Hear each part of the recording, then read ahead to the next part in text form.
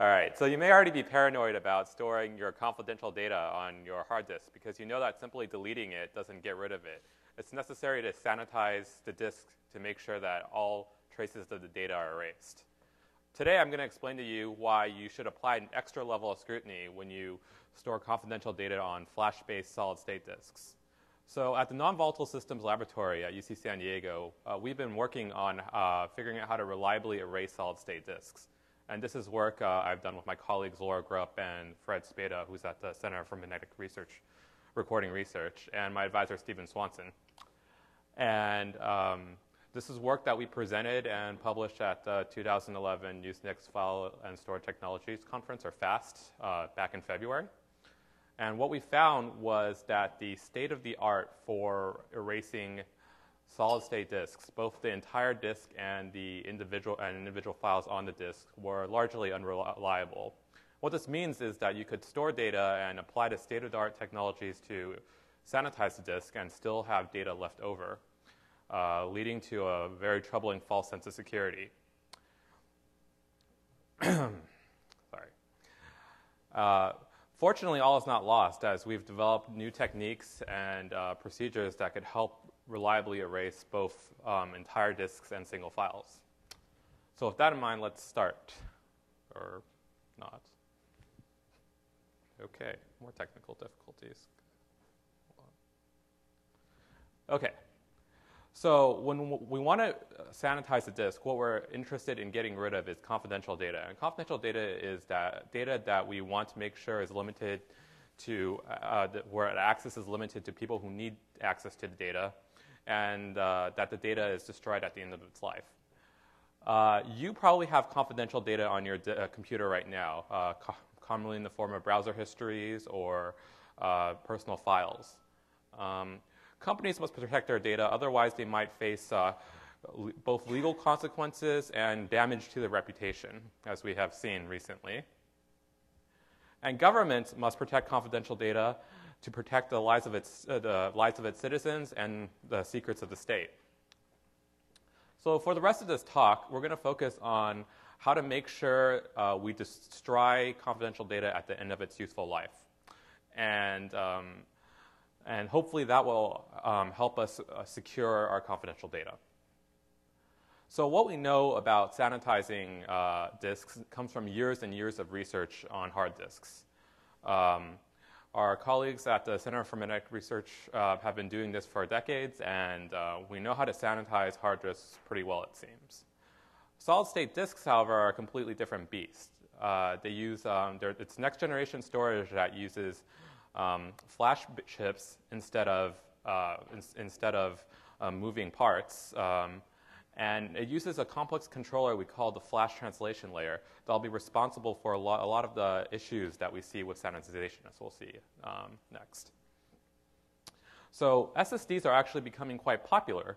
In fact, this chart from DRAM Exchange shows that we are seeing exponential growth in the use of SSDs, and we're seeing increased use in both enterprise and uh, database uh, and data center applications um, to accelerate um, to accelerate data centers and also to um, improve reliability, enterprise reliability, reliability, especially with laptops.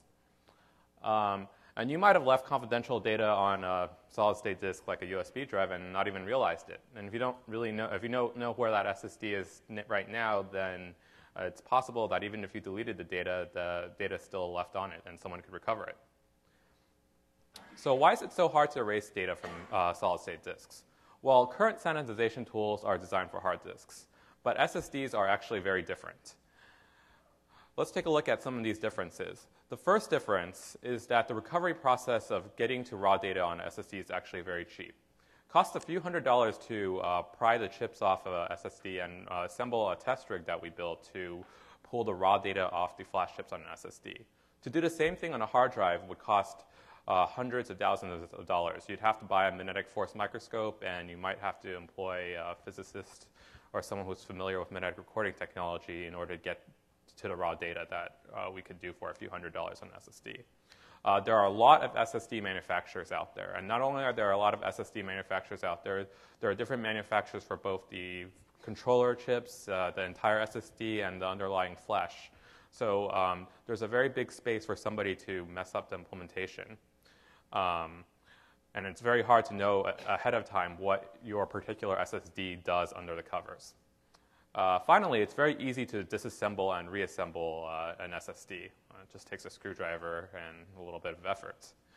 Um, so all this translates into a very low cost of entry compared to hard drives in order to access the raw data. And this could translate into someone being able to steal your data. Someone could conceivably take out your hard or your SSD out of your laptop, uh, pull off the chips, read off all the data that you thought you had deleted, but uh, still there, and return the SSD back to normal, um, all, all, in a matter of a few hours. So now that I've hopefully motivated uh, the, um, the problem and got you a little bit concerned about storing data in SSDs, uh, let's talk about uh, sanitize, uh, what sanitization is and uh, what it means to sanitize a disk. After that, I'll talk about how uh, our lab built um, a system that allowed us to test what the state of the art was for sanitizing SSDs and measure how effective uh, these state of the art sanitization procedures were for uh, sanitizing disk. Uh, and I'll, um, sorry, this is really sorry. And uh, I'll also talk about um, an enhancement we made to sanitize single files. Hold on a second.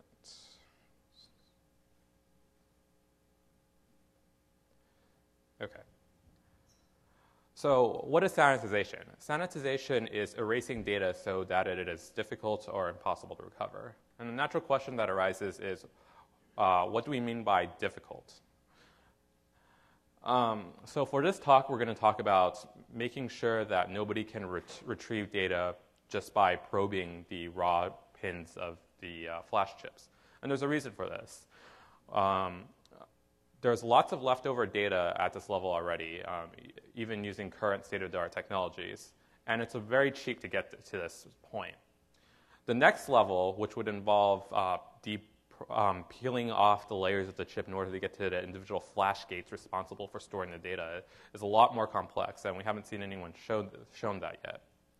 Um, but if you're interested, uh, our lab has published a technical report on uh, destroying flash memory-based storage devices, uh, physically destroying them.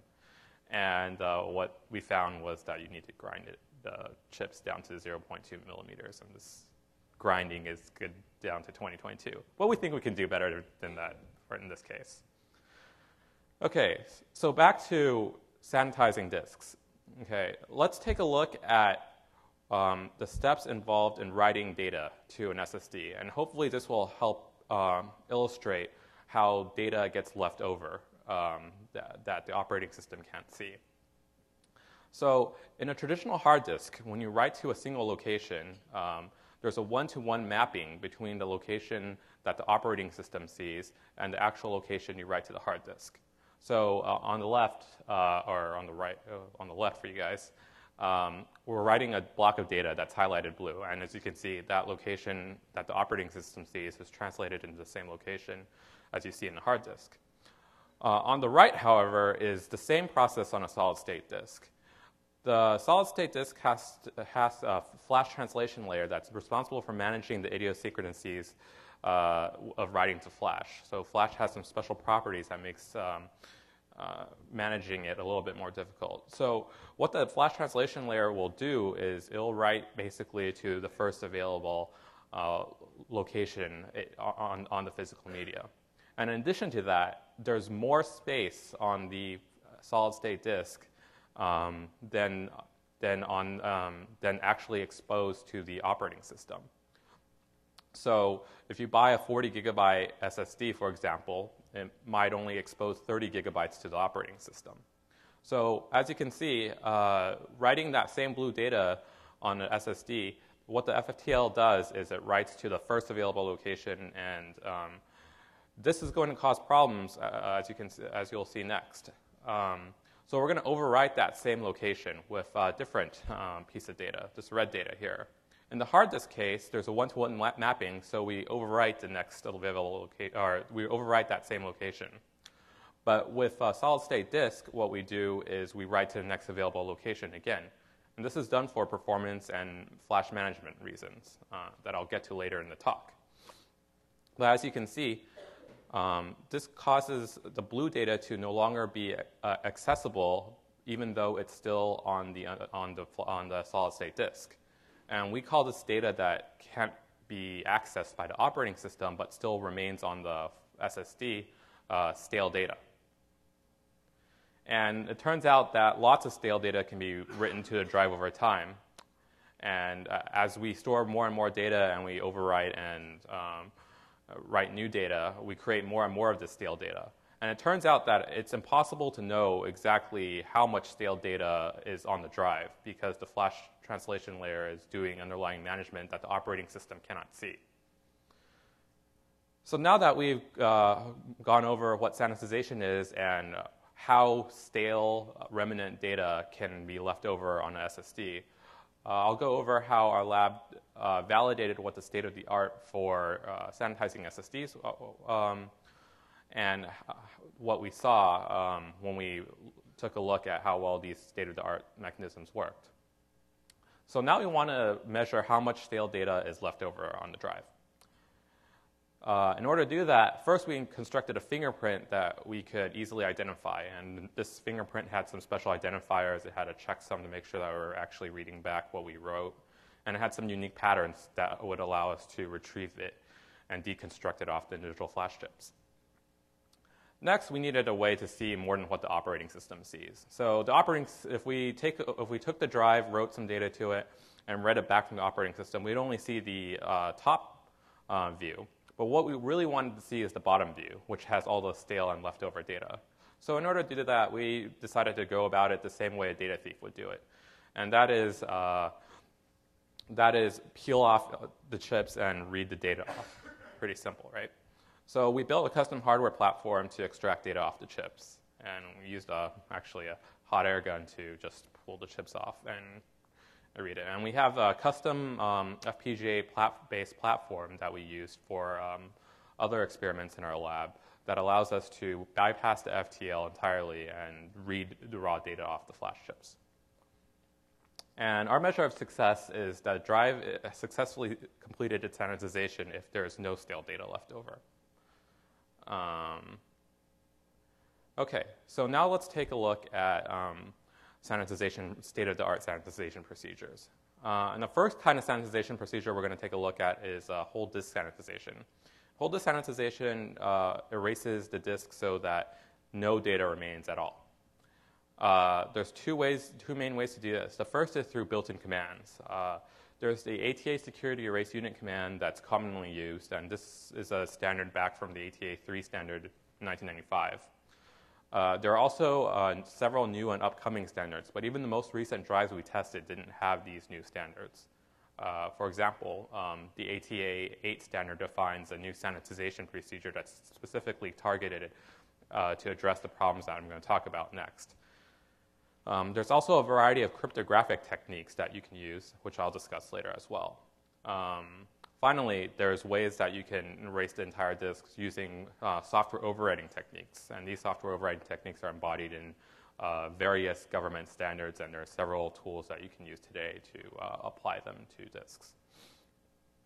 So let's take a look at these built-in commands first. The idea behind built-in commands is that the drive controller has the best idea of how to erase the underlying data in the disk.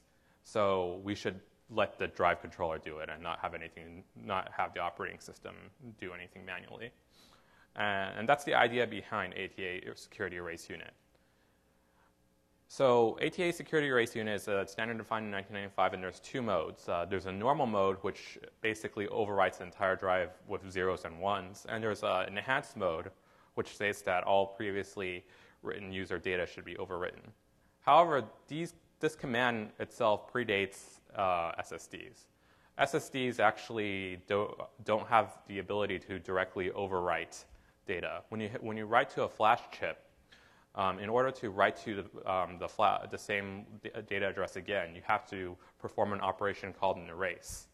So um, this command isn't perfect, but it's the only command that we uh, were able to, to test that was consistently implemented in many SSDs. So that's what we tested. So we tested several drives, and um, some drives supported the ATA security erase unit command and passed. Okay, that's a pretty good result. Uh, that is, we applied the command and we read the chips and we found no data left over.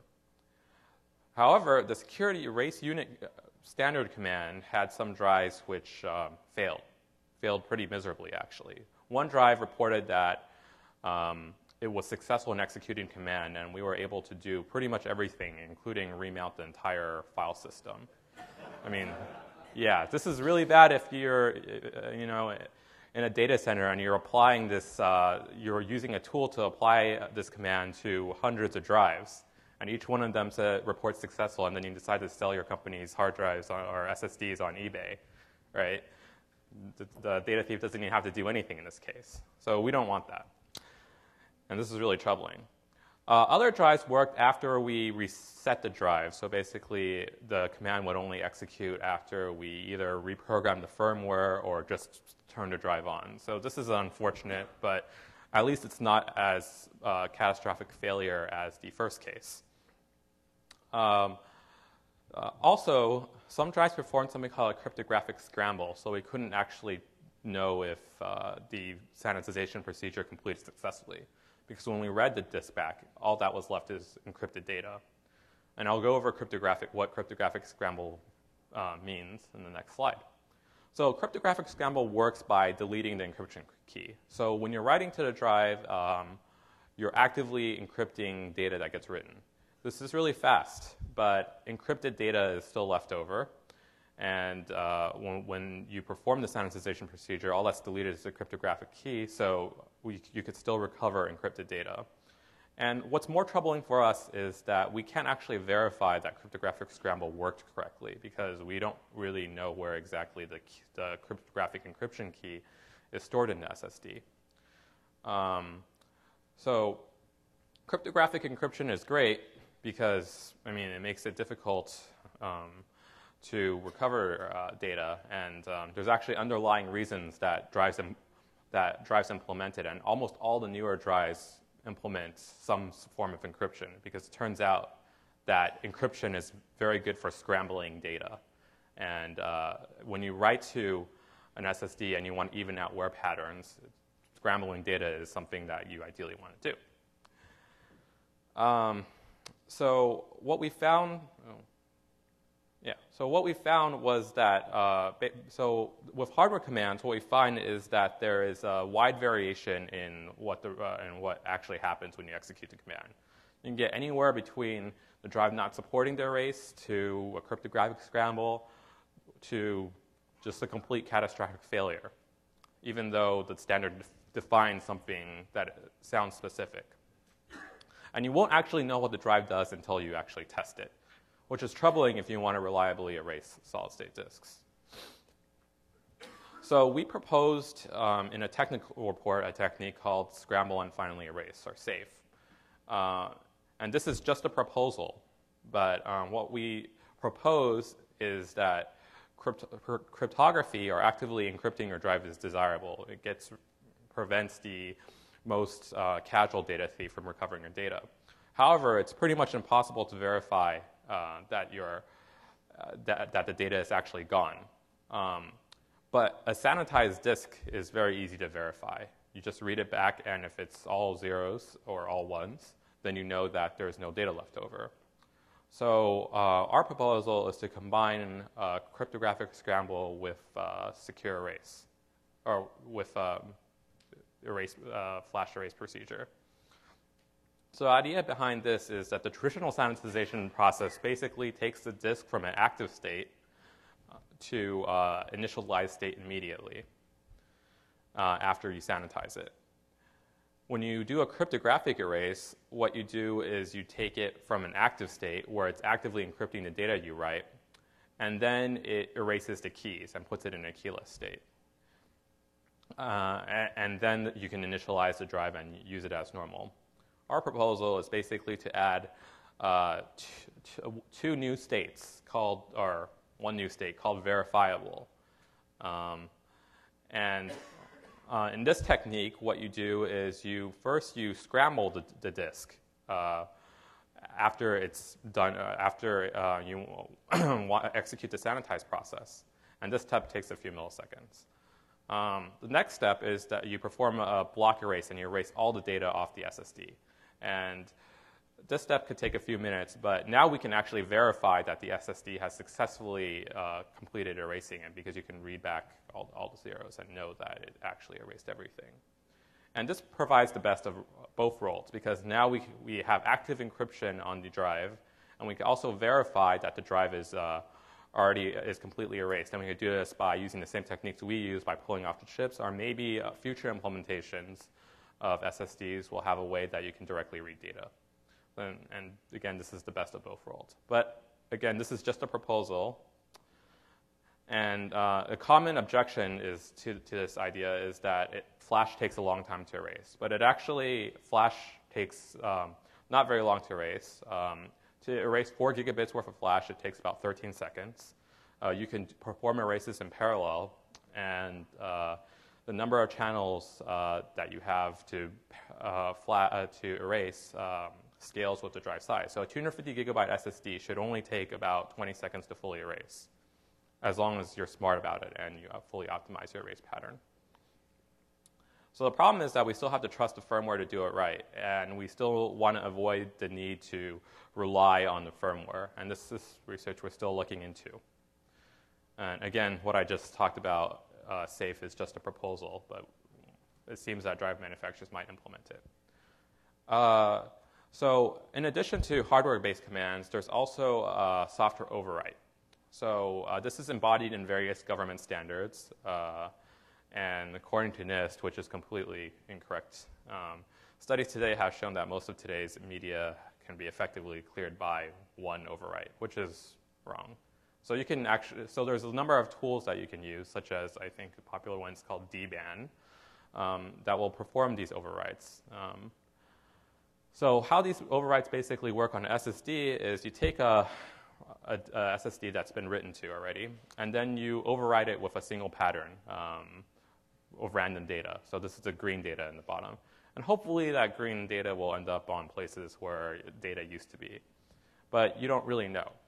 And the idea is if you perform enough passes, either you'll end up in the situation on the left where all you have was the random data you just wrote on the drive and um, or you'll end up in the situation on the right where you just overwrote the same random data you wrote on the drive, and the data that, uh, that was stale is still left on the drive, which is the more troubling case. So we want to know exactly how many times do you need to overwrite a drive to make sure that there is no data left. And our, our experiment showed that typically two times was enough to get rid of everything. But on the same drive, uh, the number of passes sometimes varied between 2 and 20. And uh, there are some that still have data left over after 20. So what we conclude from this test is that overwriting a drive is unreliable. In fact, a lot of it depends on the past history of what you wrote on a drive, how many errors were created in the process of writing the drive, and it's just impossible to know what the, how many passes you're going to need to get rid of the drive, uh, get rid of the data on the drive. Okay, so now that we've moved past sanitizing the entire drive, we're going to look, take a look at another angle on the problem. That is sanitizing single files. And this is actually the bigger problem. So what we want to do when we want to sanitize single files is we want to erase a single file but leave other parts of the disk intact. Um, and a common use case is when we have a confidential document that we want to get rid of, say, uh, browser history or you know, a corporate document that we want to erase, but we want to keep our operating system intact. Um, so one way we could do this is we could just overwrite it. And in fact, this is the only way that the operating system can get rid of it without erasing the entire disk. And uh, we're going to see the same results as overwriting the entire disk as before. So in some cases, we might overwrite the most recent copy of the document, for example. But even after a few times, sorry, even after a few times, the, the documents might still remain on the disk if it's stuck in the unallocated space. So we, we wanted to measure how bad this was, and we tested with a one gigabyte file. And we tested a number of government standards. So you, what you see on the bottom is a government standard uh, is um, our government standards that do anywhere between 35 uh, or 1 to 35 overwrites. And uh, all of the tests resulted in at least 10 megabytes of data left over uh, out of a 1 gigabyte file. And if this file was something like a video, that's quite a number of frames, enough to discern at least what the video might have been about. So this is particularly troublesome. Uh, we tried to augment the procedures to do better. Uh, we tried wiping the free space and we tried to defragment the disk and wipe it. And the idea behind that is maybe we'd get some more data out of the um, SSD, but that didn't actually do anything.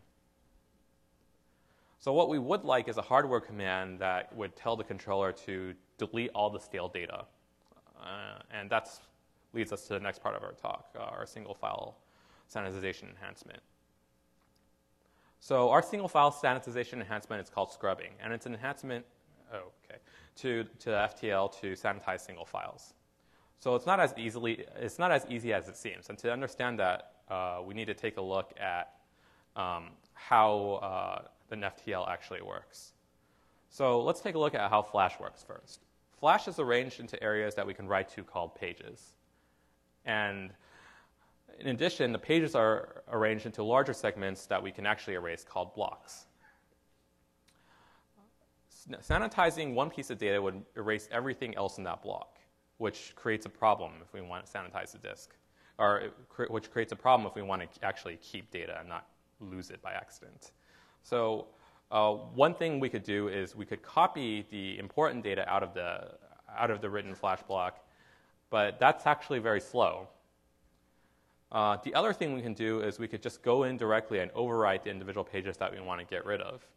So we could go in and if we wanted to sanitize this red file, we could just go in and overwrite it like this. The problem is we need to program in order according to the data sheet. So our research found that it's actually okay to go in and just overwrite um, random pages in a flash chip as long as you follow certain restrictions. And we call this random overwriting a scrub. Um, and we found that in high reliability memory, um, you can do this as many times as you want. But in low reliability memory, um, our higher, low reliability, more dense memory called MLC memory, um, it turns out that um, there's a limit to how much you can do this. And we're limited by something called a scrub budget. So here's a graph of, of many chips that we tested, and uh, the y-axis is the bit error rate. So um, as you can see, some of these drives were able to exceed a certain bit error rate.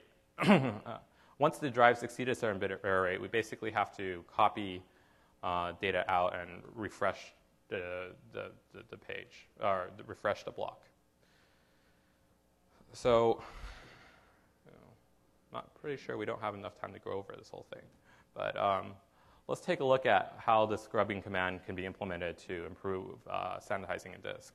So scrubbing will allow us to get rid of the stale data by overwriting it.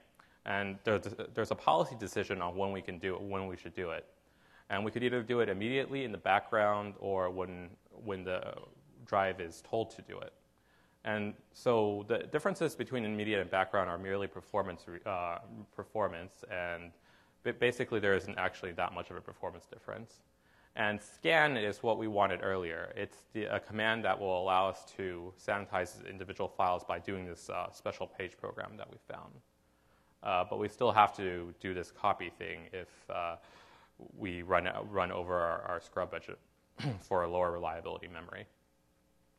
And we found that our scan command actually is able to work with um, minimal latency impact. In, in fact, um, the most latency we, we see is additional 10 seconds on a, a benchmark called SwapSpace. Um, so scrubbing is a solution that we can use to sanitize single files. Uh, we could determine how uh, often we want to sanitize, and we can also sanitize on demand with a special mode called scan. So in conclusion, uh, sanitizing storage is uh, necessary for data security, but we need to verify that sanitization is effective in order to use it. Uh, the built-in mechanisms for sanitizing a drive are reliable when they're implemented correctly. But the current standards allow a wide variation of implementation, and it's impossible to know ahead of time what implementation you have.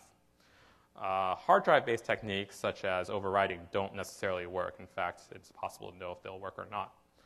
Um, but our technique called SAFE will allow us to verify encrypted drives. Um, sanitizing single files in place is very difficult. Uh, software overwriting can't actually guarantee that we can sanitize single files at all. But uh, our technique called scrubbing will allow us to sanitize single files by making some modifications to the flash translation layer. And uh, that's it.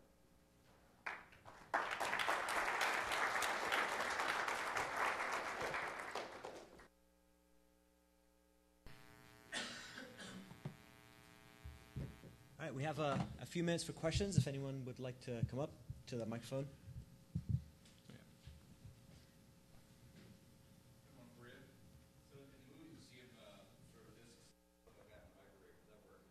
Uh, yes, there's actually been a study published on that that, that shows that uh, it's actually not possible to recover data off uh, flash chips when you microwave them. However, um, they weren't actually able to show that the data was actually erased, just that they weren't that you couldn't actually use a flash chip after you microwave them. So uh, maybe some government agency would be able to figure out how to retrieve the data.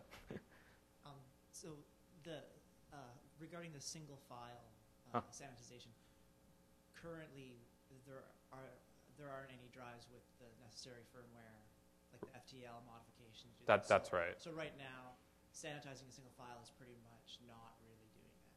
Yeah, it's pretty much impossible to sanitize a single file reliably on current SSDs. Uh, it would be necessary to erase the entire disk if you were sure that your implementation correctly did that. Okay. Um, how about um, so if you even if, say I know there are um, OSs now like Lion and things like that where you, you can set up like uh, full disk encryption. Uh-huh. Um, did you try like those? Even if so, then if you're recovering bits from that, you're just going to be recovering encrypted files, right? Right. So yeah, uh, so uh, what I mean, a few of the drives we did we looked at did this built in, and uh, of course you only could recover encrypted data.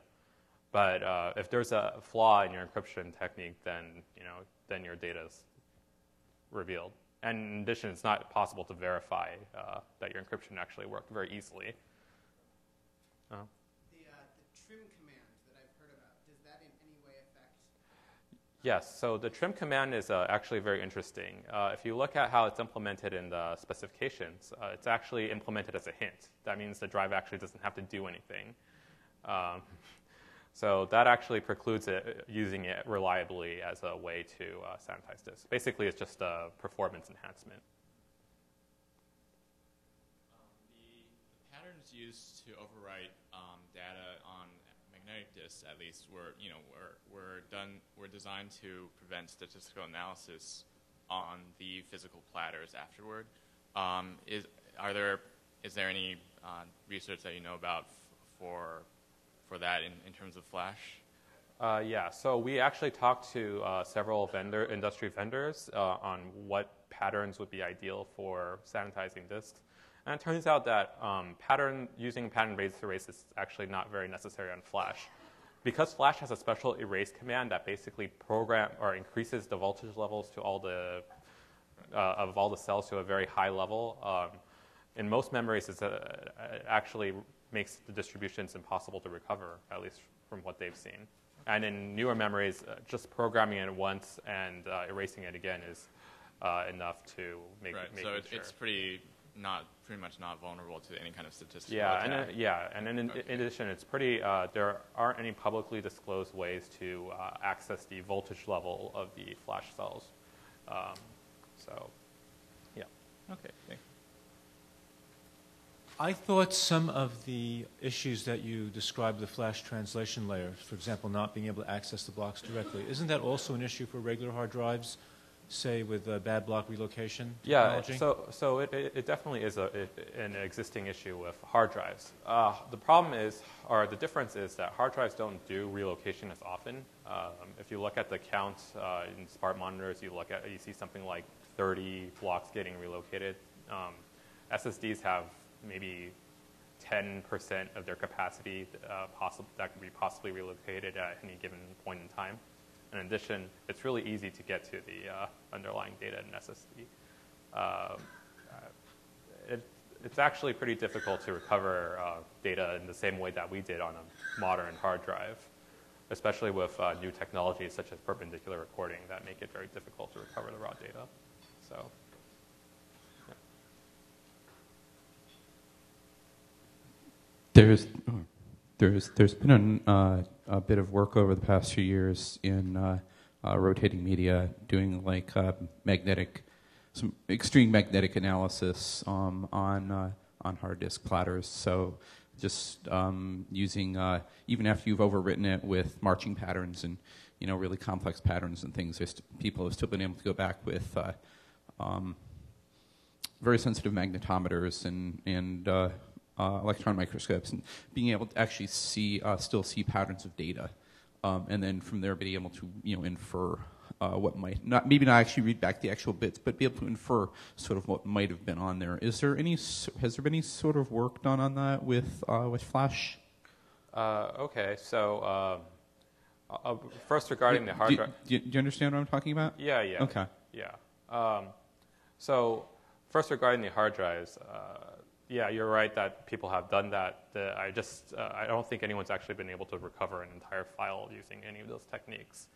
Uh, but going back to the, the, the flash issue, um, the analog to doing that in Flash would be to peel off the, um, the layers of the chip and to get to the, the, the actual flash gates that are responsible for storing that technology. And we have looked into um, how to do that with um, basically microscopic electron probes to read maybe possibly data off uh, single cells. But um, to our knowledge, nobody has actually been able to do that or get remotely close to doing that yet. The, and it's it's getting more and more difficult as um, process technologies get smaller and um, flash cells get more dense. Um, they're increasing from moving from one, uh, one bit per cell to two bits per cell to three bits per cell. So it's getting even more difficult to do that kind of recovery. So yeah, in short, no one's actually Okay. done that yet. okay, any more questions? All right then. Thanks for having me.